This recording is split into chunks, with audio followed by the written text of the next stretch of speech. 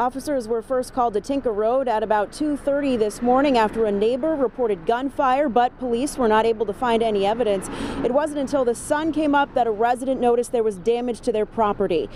Officers say at least 20 to 30 rounds of gunfire hit a shed and two cars on the property, causing several thousand dollars worth of damage.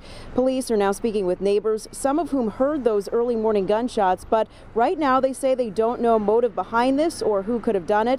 They're asking people to check ring cameras or any other type of surveillance for any suspicious activity around 2:30 this morning.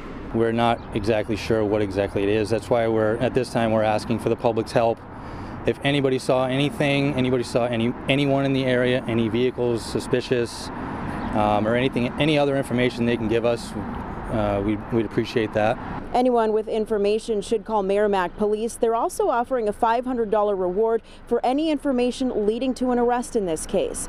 In Merrimack, I'm Charisse LeClaire, WMUR News 9.